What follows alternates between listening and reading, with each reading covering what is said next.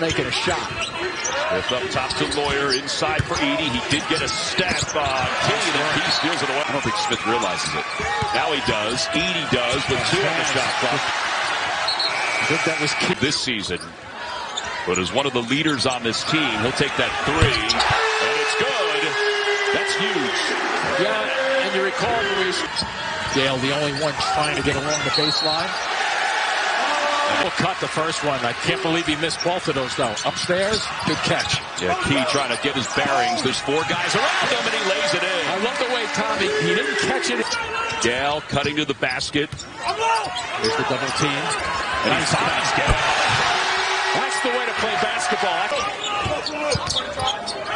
Somebody's got to fill, help him out on the left side. Ooh, he was able to get some space. Or just turn and put it in. Point lead for Purdue.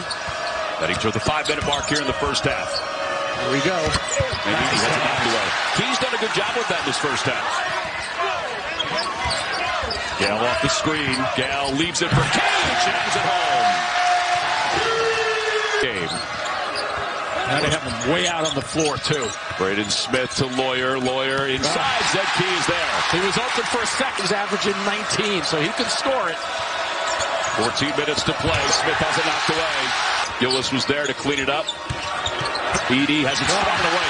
Key's hands have been excellent today. They got a three on two if they hurry. High step into the basket lane. They're trying to get it to the big guy. Here he is. Remember, Key has four fouls. Nice hands. We've seen it five times or so this afternoon. And Thornton is fouled